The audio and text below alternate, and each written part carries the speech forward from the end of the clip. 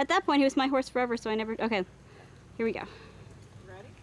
Here we go. The miraculous self-loading horse. Are we gonna back him out? Oh, after a minute, he can have his treats. Okay. You want to get that on film too?